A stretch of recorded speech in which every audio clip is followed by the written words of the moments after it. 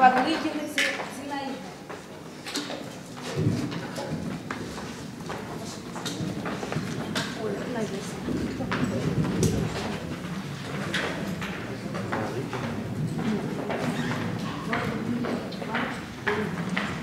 Добрый день. Я прочитаю свои стихи. Параллельными штрихами дождь апрельский, как на холст ложится на стекло.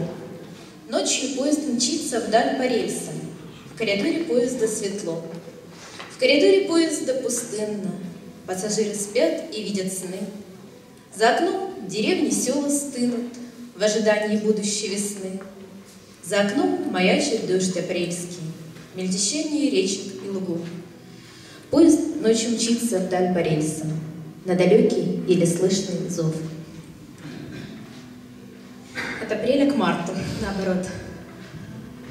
Забросал пенопластовым крошевом улицы мартовский снег. Перебежал дорожку кошки один человек. На небесах расписание, когда снег, когда дождь. Старайся думать заранее, куда и зачем идешь. А кошка сидит в сторонке, сидит и ждет новостей. У кошек имеются собственные приметы насчет людей.